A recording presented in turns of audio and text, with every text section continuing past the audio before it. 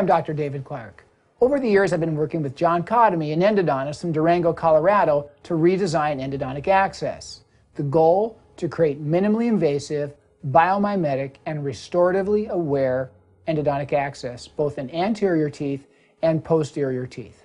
And over the years, our accesses have changed dramatically.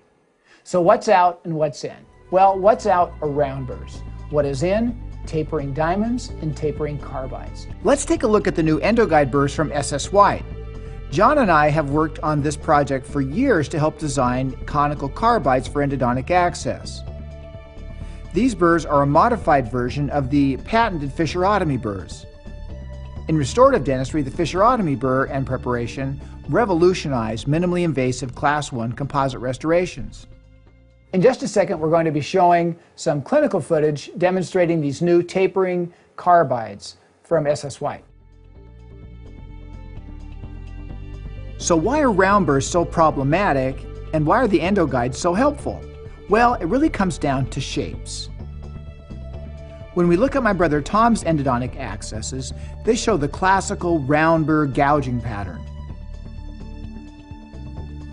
Let's take a look at the series of images that explain round burr gouging and the consequent difficulty of trying to find the canal with a hand file.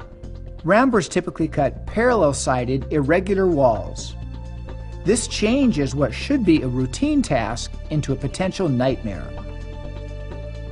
In contrast, when we machine a smooth, conical funnel shape with the EndoGuide burrs, the access can be slightly off-center, but you can still easily trace the file up and down the smooth cone shape and routinely discover tiny calcified canals.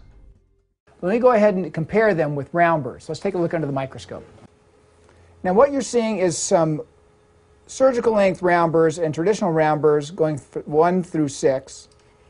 John and I have both eliminated the use of round burrs for endodontic access. And when John first came to me and said, you got to get rid of your round burrs, I couldn't believe him. And this is the last thing we want to use for endodontic access. These are the diamonds that I like to use and the carbides that I like to use for initial access. They're all round-ended carbides or round-ended tapering diamonds. I'm going to go ahead and grab the new EndoGuide burrs.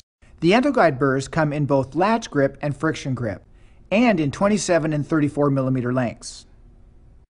You will notice that even on the largest EndoGuide burrs, the tip size, which is what matters in endodontic exploration, is significantly smaller than any of these round burrs. Let's take a look at some clinical cases, and these first two cases are featured by John Khademi. John's going to be cutting initial access in a very calcified lower incisor. He's going to be cutting this in a friction grip high speed with the super narrow tapered fissure tip. It is the perfect size for these delicate lower incisors. And it's interesting, even though this is a very calcific system, the burr is self-centering. He's going to drop this directly into the pulp chamber in a very minimally invasive, minimally traumatic fashion. Watch the file drop right into the system. Now John is going to compare insertion of a number one round and look at this burr, it just doesn't fit very well. Imagine how much gouging would have occurred with just that little round. We already talked about the fact that they tend to wander also. They don't self-center like these beautiful tapering carbides. John's going to be troughing in between the mesial buccal and mesiolingual looking for the middle mesial canal system in a lower molar. He's basically chasing that white dot. And this tapering carbide leaves a great dentinal map when you're using a microscope.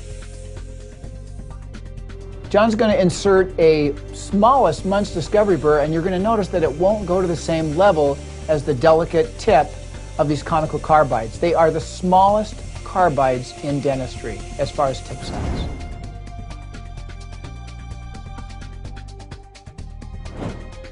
This is my case. I'm using the larger taper in a latch grip, which is I think is great for general dentists who don't do endodontics all the time. It cuts slower, it cuts gently, and I'm basically chasing residual pulp tissue. It's like that little white line. It looks like old leather. So I'm gently grooming back and forth, back and forth to see if there's an MB2 or fourth mesial canal system in the molar.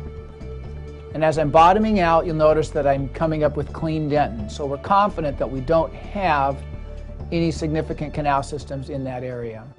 I hope you've enjoyed this brief synopsis of the transition away from round burrs and some of the old-fashioned access burrs to tapering carbides and tapering diamonds, which is the future of endodontic access.